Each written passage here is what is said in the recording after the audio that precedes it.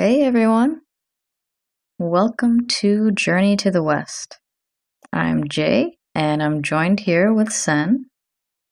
Hey everyone, I'm Sen. Along with returning guest, Jia. Hi everyone, I'm I'm Jia. And today we're going to talk about a pretty loaded topic. The overarching theme is going to be the sexual exploitation of Asian women. And we're going to contextualize that in a way that we haven't done before through the framework of how uh, cultural violence, systemic violence, and direct violence are all connected and intertwined and feed each other. So, we're going to start with some current events. Recently, this made Asian Twitter news there's this restaurant in Atlanta, Georgia, which is, if you're not familiar, the southeastern coast of the USA. It's a Viet restaurant called We Suki Suki, which already by the name tells you a lot. And uh, for seven years, they got away with running a business that had an overtly racist concept, including but not limited to theme nights called Good Morning Vietnam. They're basically based on uh, war films glorifying the, the Vietnam War. Uh, they sold napalm smoothies. They would serve banh mi with machetes, and they would use an ammo box for cash. Uh, seven years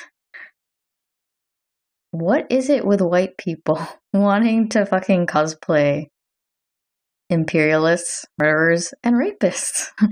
and what is just so fucking irresistible about making fun of war crimes? Uh, Sen had a really good thread, basically eviscerating this place, and I would like for her to elaborate on that because it was it was so good. Uh All right. Um, the place is also run by, I think there were a couple, I didn't know at the time, but he did say something about having Asian wives. So, um, the restaurant's run by this Vietnamese woman named, um, uh, Trinh and this other white guy. And he was the one mm. that posted all this fucking trash online. And the original image had the menu with like the napalm smoothie thing, and the there was another image of this white guy in some kind of army gear with a machete, and captioned "Time to play." And I just couldn't help but think, oh god, is this some kind of like time to play, time to go rape some people, like fucking all the soldiers did back in the day. I saw someone who had reported on this restaurant like ages ago, um, saying that oh, like uh, Trinh, oh, she goes by the name Q, by the way. So Q was like, oh, she's such a great person. She's so nice, blah, blah, blah. And like, she got the name idea of like, we, um, uh, ski ski or suki suki, which means like, I love love or we love love because she got the keys to the restaurant on Valentine's Day or some bullshit like that. And I'm just like, what the fuck is this weird, like, it sounds so reminiscent of me love you long time, like, bullshit. And he was trying to, like, rebuff all of the sort of um, criticism by saying that, oh, it's just a pun. It's just, it's like, pun of whiskey, you know, because you know we ski ski. It's like kind of sounds like that. Another bullshit because there was like a Chinese British actor who called mm. him out on it, named um, Daniel York Loh. And they were just going back and forth, and he was just so arrogant and up his own fucking ass about it.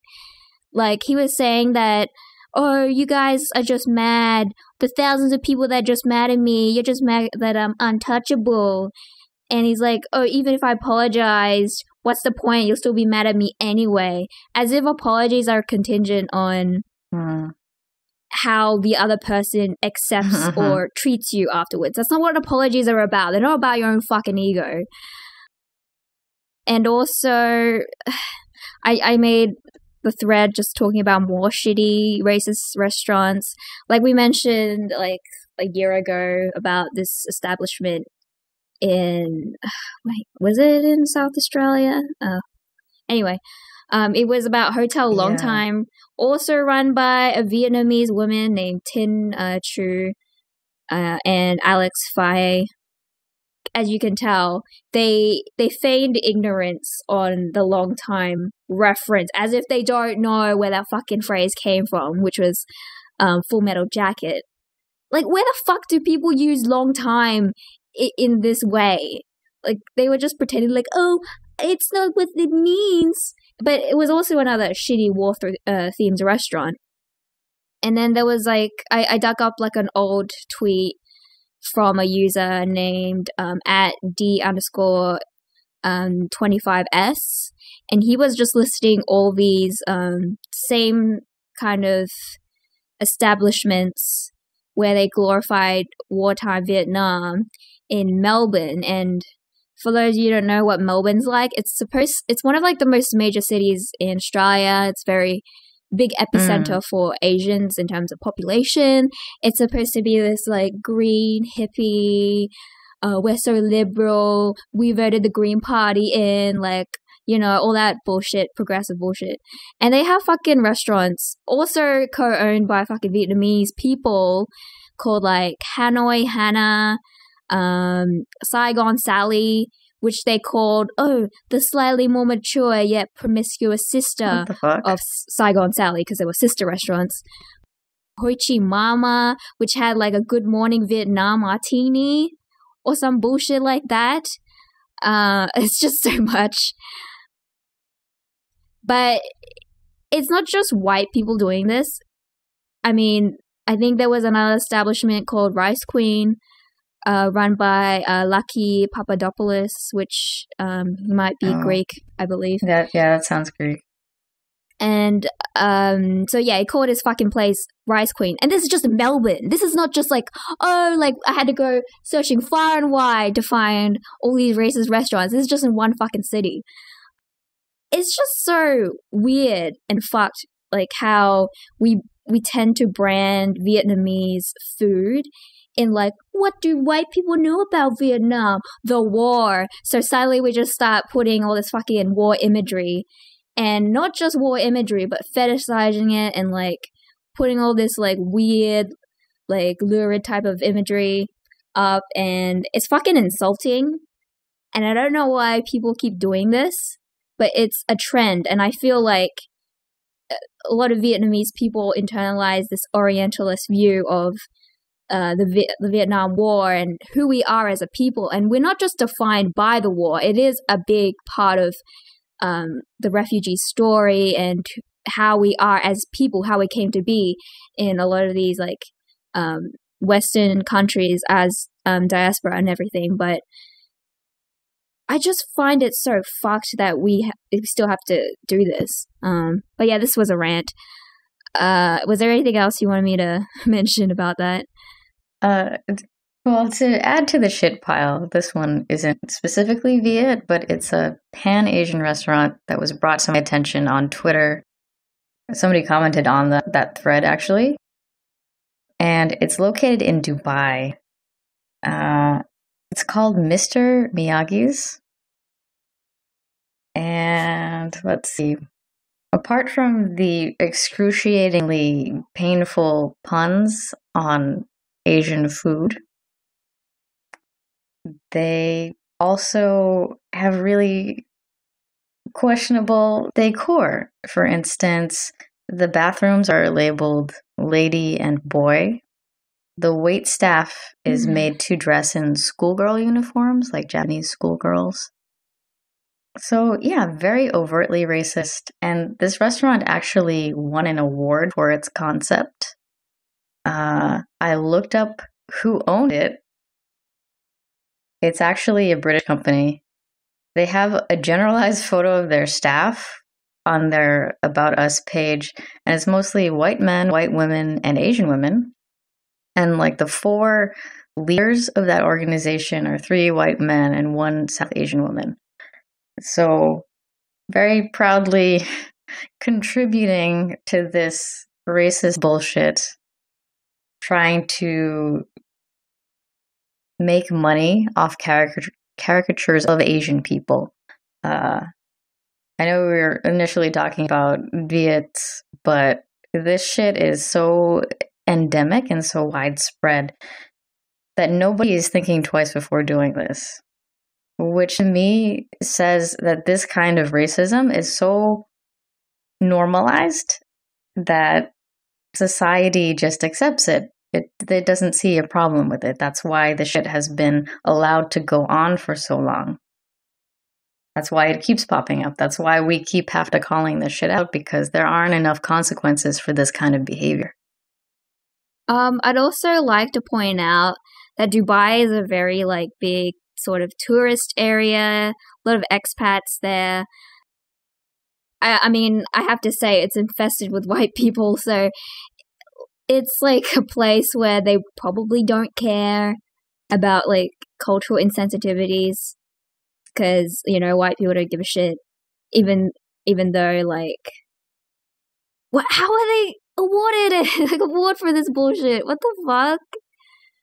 Oh my god I mean, you, you mentioning that this is a hub for expats kind of explains it all because, like, they're catering to each other. Mhm. So obviously, they're not going to see a problem with it. yeah Uh, so to further along this discussion, why is this shit so normalized? Well, let's dive in to the history of sexual exploitation of Asian women.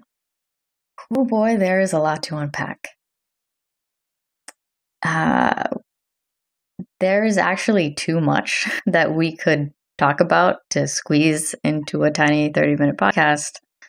But we did want to briefly talk about the history of sexual imperialism as well as the complicity of Asians and Asian governments in perpetuating it. And this was mostly inspired by something I also came across on Twitter. Somebody wrote up a thread explaining an article that was talking about how the Republic of Korea was actually facilitating sex trafficking to US soldiers on bases in Korea. So I, I think we're probably well aware of the concept of comfort women. And often it's in the context of World War II and Japan conquering a lot of Asia and taking women from the Philippines, from China, from Korea, and making them basically sex slaves to service their frontline soldiers. Uh, what isn't talked about a lot of the time is that once this practice ended, once Japan kind of washed its hands of this system, the system didn't fall apart. It the ownership just changed hands. So these women were then owned by uh, basically the U.S. military and uh, also local governments.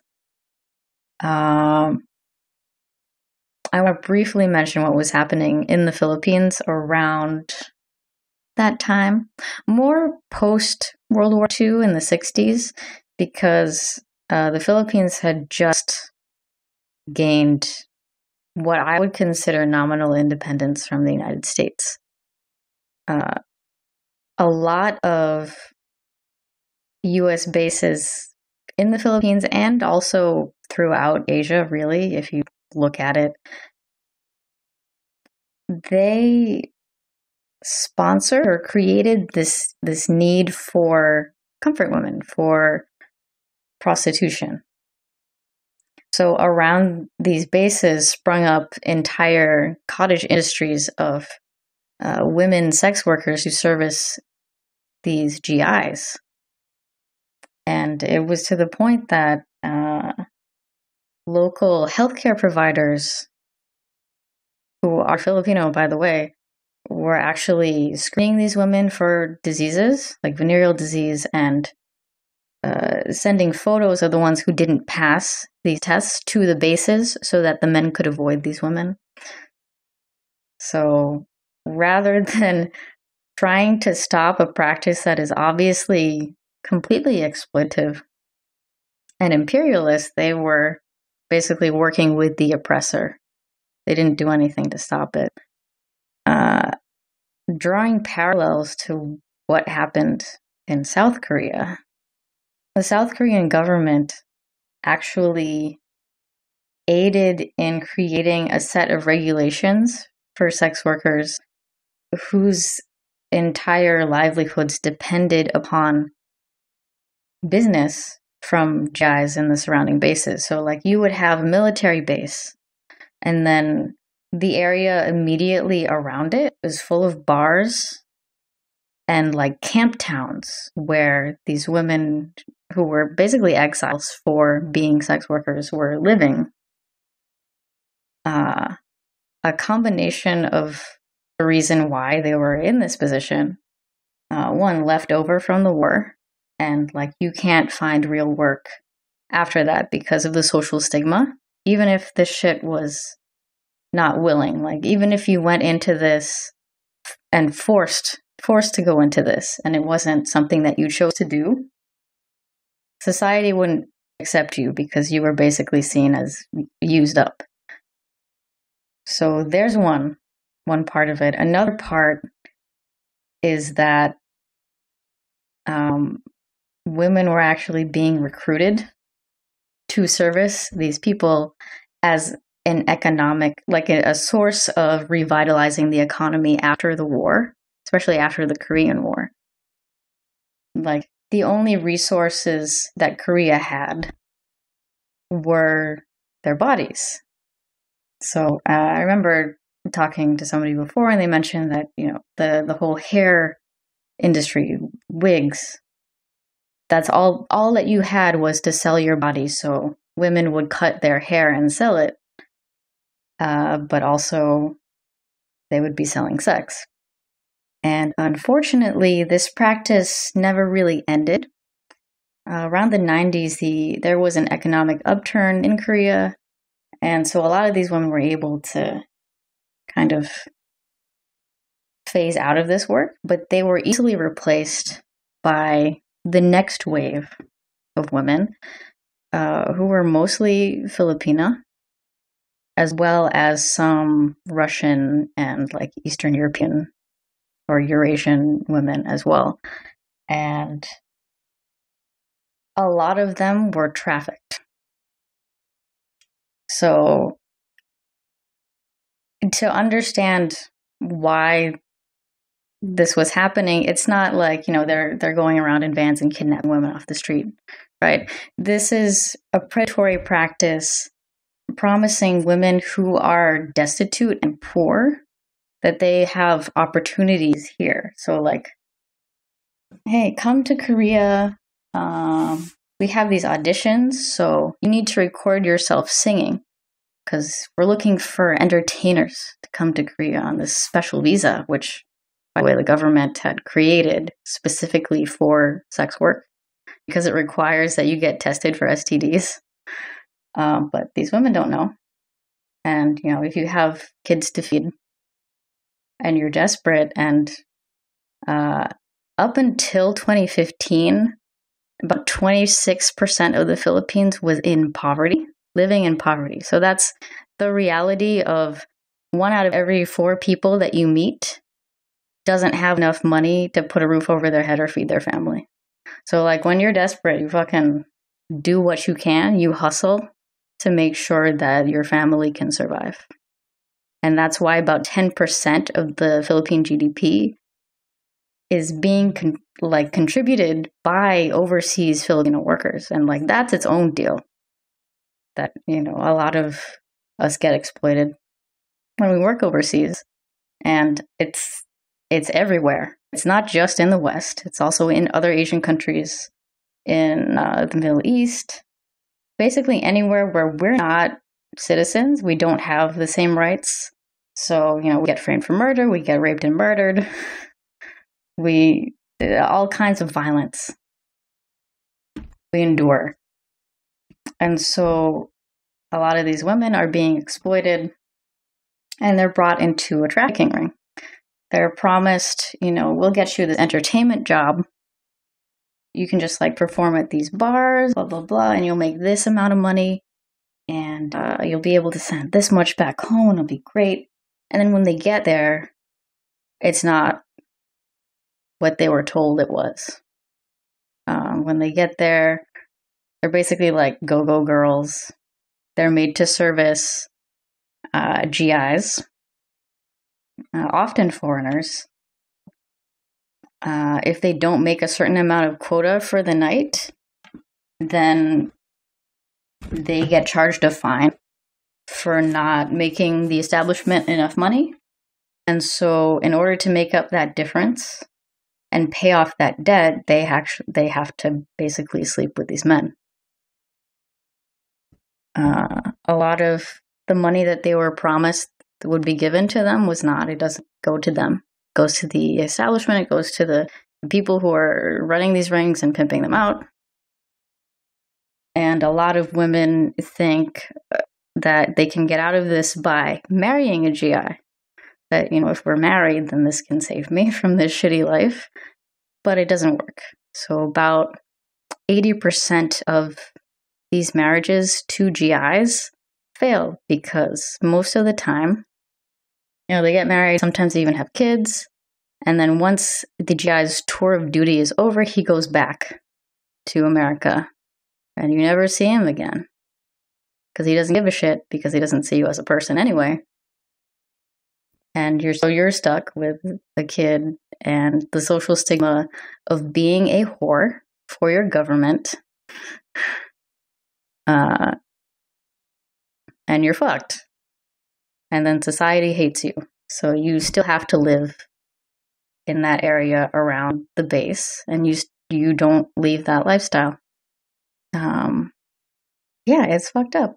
I'm sure I'm missing a lot of shit because I'm just saying this off the top of my head from the articles that I've read. Um, I actually do remember, like, because I was reading a lot of history. Um, I think the government back home really did not want to encourage any actual legitimate recognition of these relationships. So they would discourage a lot of these GIs from actually getting married um, because, you know, a lot of people didn't look very favorably, favorably on interracial marriage.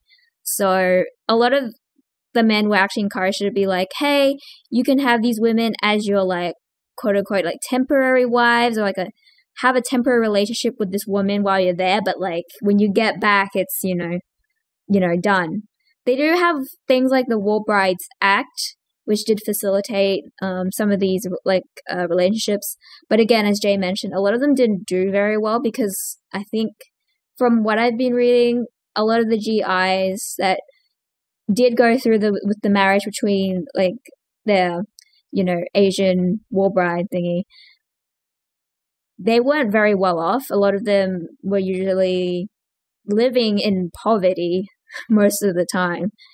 Uh, so a lot of these marriages weren't exactly an escape or an idyllic type of resolution. I, w- I do remember um, there was an article talking about the comfort woman issue and how like very politically charged it is because a lot of the narrative around the comfort women have has been controlled and sanctioned by the Korean government and a lot of the the non-profit orgs. Um, an exam an example would be um, one of the first like comfort women to come out, which her name was um, Kim Hak Soon.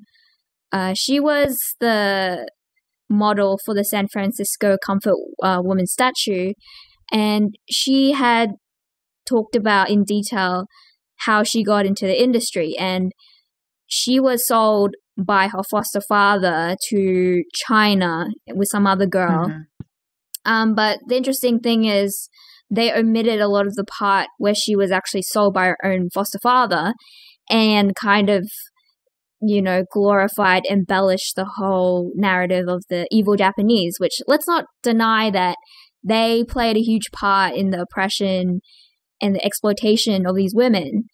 But the most the most evident thing is that they want to continue a sort of narrative of good and evil, a dichotomy, so to speak, and conveniently leaves out the complicity of um, Korean men and the government allowing these institutionalization of sex work and also the US part that they played. Um, there was also another story of another woman named um, Lee Yong Soo. She had talked about her abduction, like her abduction, and how she had escaped with a friend from that an establishment where she was doing sex work. And later she revised her story to say that she was abducted by Japanese uh, soldiers or something.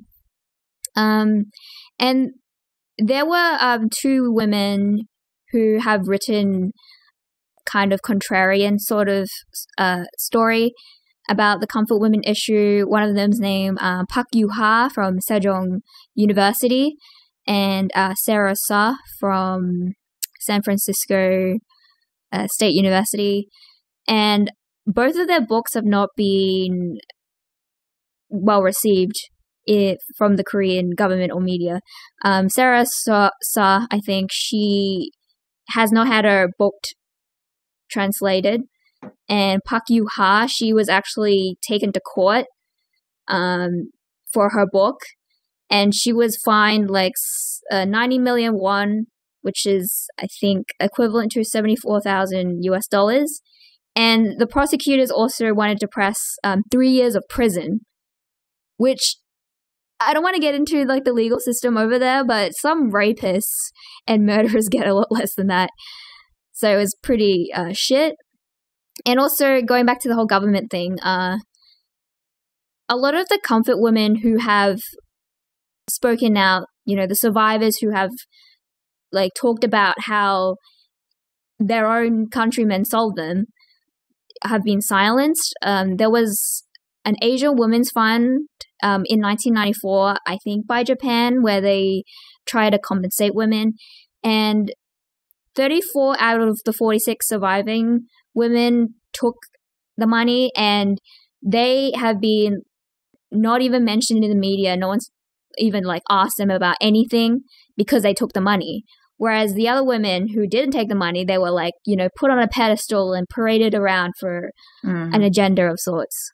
So, yeah. Uh, there's some kind of saying about politics that, like, never let a good tragedy go to waste. And I feel like that is very descriptive of what happened with comfort women in Korea. Uh, something I wanted to add to that one of the articles that I was using as my source is by or from Politico. So we're gonna we're gonna post as many sources as we can in the description. But there's this really good quote that I think sums it up very well. Um, South Korean government documents show male officials strategizing to encourage GIs to spend their money on women in Korea rather than Japan during leave time. Officials ordered classes in basic English and etiquette to encourage women to sell themselves more effectively and earn more money. And there's this quote from a former sex worker named Aaron Kim, who says, They urged us to sell as much as possible to the GIs, praising us as dollar earning patriots. Our government was one big pimp for the US military. So, yeah, next time you talk about the sexual exploitation of Asian women, uh, obviously, the primary uh, culprit is white sexual imperialism. Basically, the the attitude that white men can have Asian women because we're objects and they're entitled to our bodies. But let's not forget the complicity of Asian governments in basically selling us out because I think a lot of people ignore that. I mean, we're obviously knowing us, we're not here to push the narrative of like the the evil patriarchal Asian man. We're here to make sure there's accountability where it's due. Yeah, I remember there was this like old thread from Ask a Korean where there was a whole like BTS thing about ugh, I forget. Oh yeah, it was I like remember that. One of the members named Jimin. He had like the Hiroshima bombing on like a shirt or some shit, and like Oscar Korea made a whole fucking trash ass ass thread about how Japan deserved to get bombed. And I like I was trying to find that thread. I think it's deleted. I, I do have a screenshot though of one of the comments, but he he was making it sound like, oh yeah, Japan deserved everything because of their imperialism and um, annexation of Korea, and it's not justified either way. Obviously, the atrocities need to be accounted for and you know recognized, but it was just so shitty how he didn't even bring America into the mix of how they fucking like helped it along. They instead of dismantling it, they were like, "Hey, this is good. Mhm. I'll take it. I'll take these fucking brothels for myself and like rape Asia because that's what I do." And he didn't even he didn't even mention any of that. He was just making this like demonic Japanese thing narrative. So I'm just pissed off that if you're gonna really talk um, for the survivors and talk about history, make sure you cover all your bases. Mhm. Yeah, yeah, because it always feels incomplete whenever somebody talks about it because they have this this agenda, as we mentioned before, to absolve whoever they care for from blame. Like, if you want to have an honest conversation, you have to really, really call out everybody who was involved because they all played a part and they are all responsible. And refusing to acknowledge that doesn't allow us to move forward. Oh, something I also wanted to add uh, because so many of the discussions about this topic are so broken and fractured, and there are a lot of false attitudes, uh, especially as we've mentioned, the absolving of blame of governments, especially of Western imperialists. But there's also this attitude that I've seen crop up as well that Asian women are basically asking for it when they get raped and murdered as though it is completely our fault that we are stereotyped this way. But like obviously if you understand the history, it's hell of a lot more complex than that. And uh I think Jia had something to add specifically about the nature of sexual imperialism, what that entails and how that really informs the way that we construct gender, especially when we apply it to issues like this. Sexual imperialism is partly rooted in this idea of the West being dominant or masculine, um, and the East being uh, submissive or feminine. And I think this is a core of Mhm. Orientalism, if I remember correctly. But I think if you're familiar with like how white people and specifically, I guess, Western cultures construct gender. So, um, for example, uh, men wanting to please women, this idea that women are lower in status, intelligence, or ability, or or even how like women are, you know, like infantilized, or or that they don't deserve like equal respect or equal right.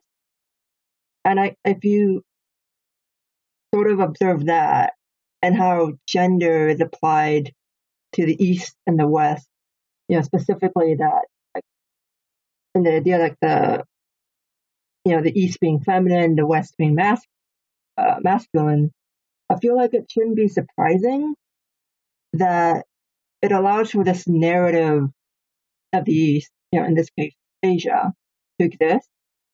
And I feel like that narrative only gets amplified for Asian women in particular because um, it sort of pushes forth this idea that that the East wants or needs to be dominated or controlled by the the West, which is seen as powerful and and I think that you know being Asian, you get subjected to Orientalism, and I think on top of that, you know, being a woman and also being subjected to sexism, I feel like that only further adds to the racial oppression of Asian women.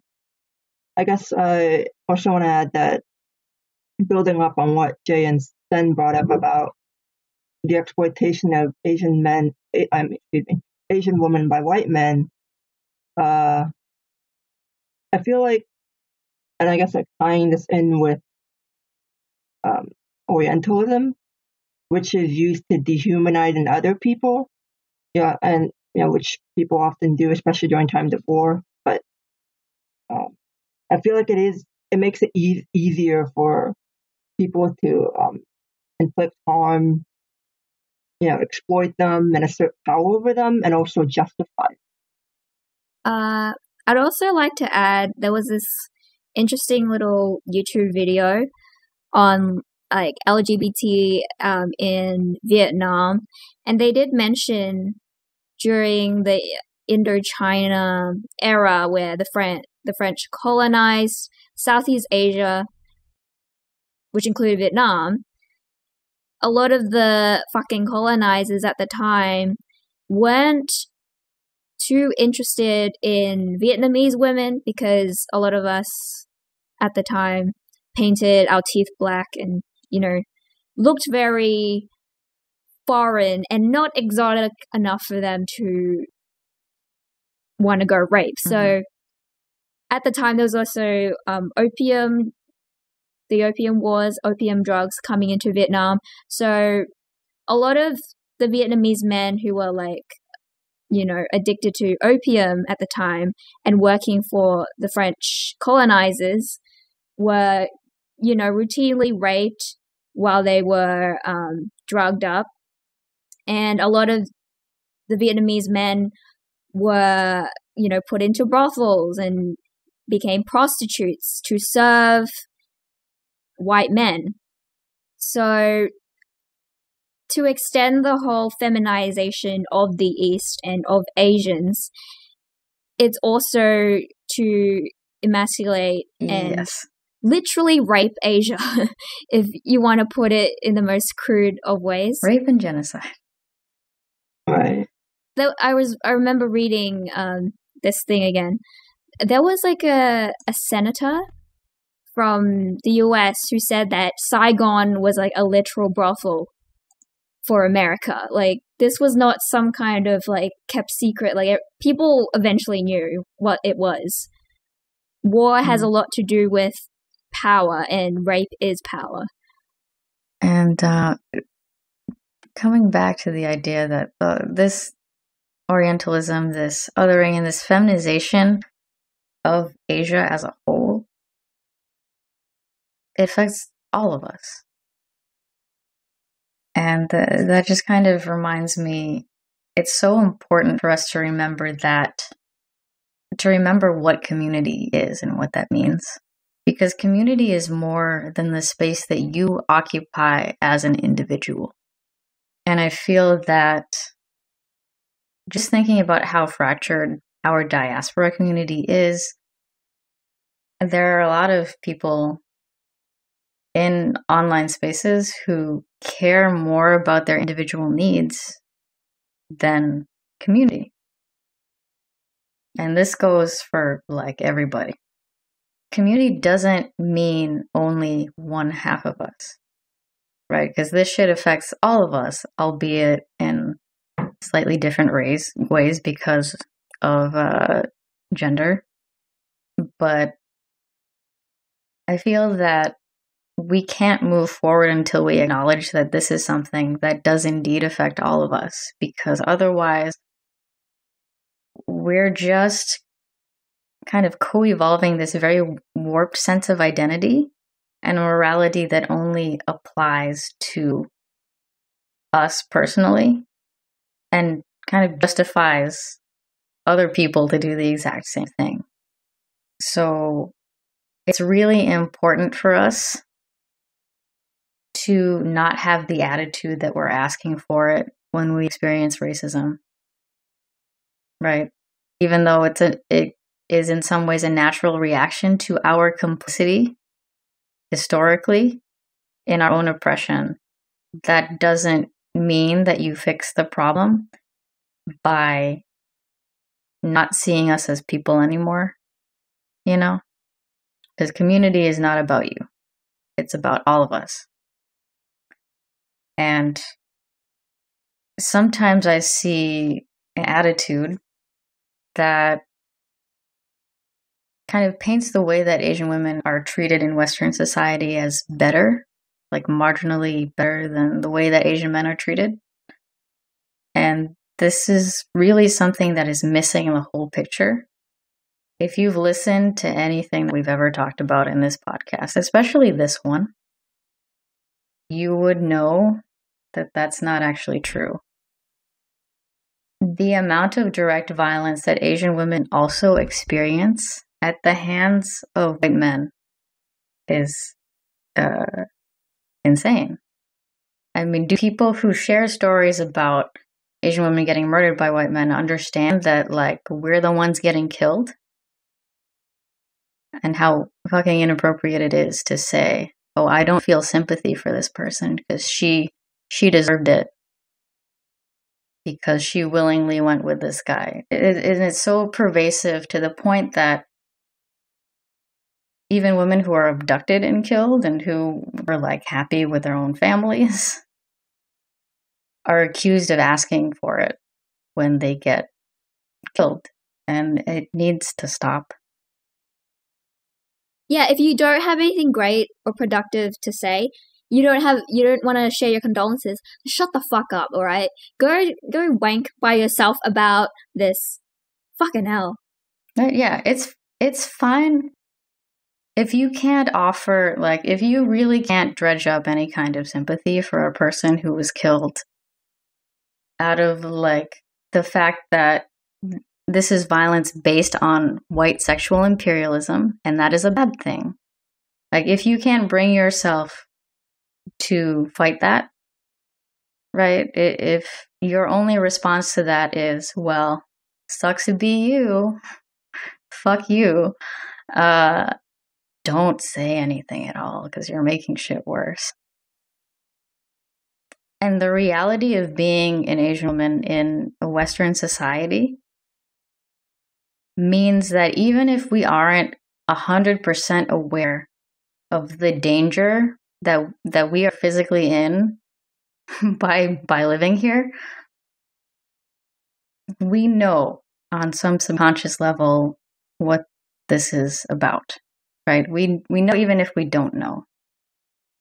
Uh, there's studies that show that children as young as the age of three understand what race is, and they know to assign different racial traits because they know what that shit means.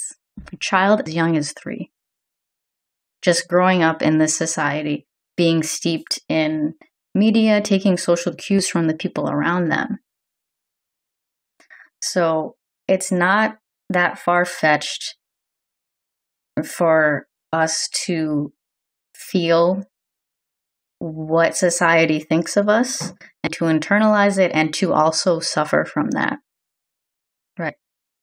Uh, what inspired me to mention this is that uh, a friend of mine brought up something very interesting. She said that since learning a lot and educating herself about imperialism, colonialism, and the atrocities of anti Asian racism, she's been having a lot more bad dreams lately, nightmares, in which she's being chased by white men and by, they're very violent.